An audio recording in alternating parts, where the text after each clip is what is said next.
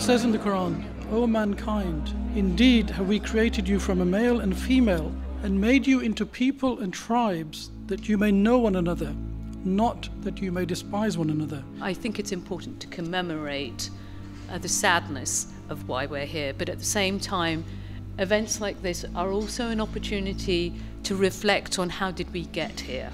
The Christchurch attacks sent us a resounding message that we must deal with the clear and present danger of Islamophobia.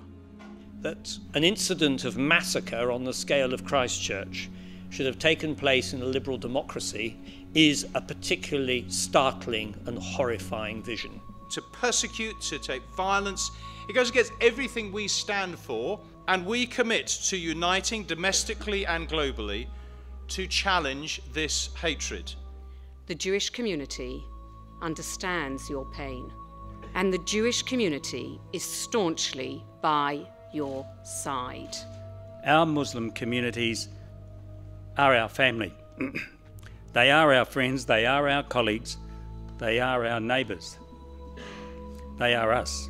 Thanks to the community in Christchurch and to the government and the Prime Minister of New Zealand, I was very impressed. They said, we are not going to allow our communities to be divided by the far right. We're not going to allow ourselves to be divided by these people. We are going to stand together in solidarity. The New Zealand response for us is a potential game changer and an exemplary response that may act or must act as a blueprint for political leaders here in the UK and abroad.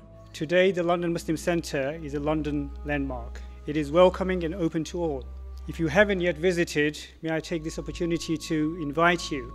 Mosques, synagogues, temples, gurdwaras have to be truly considered as British institutions. Then and only then will we begin to learn the lessons from the Christchurch massacre.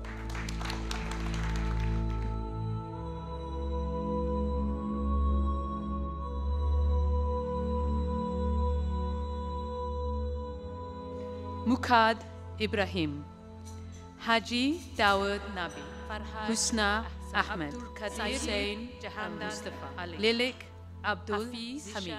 We will keep them in our hearts and minds, not just today, not just for the rest of the year, but for all eternity.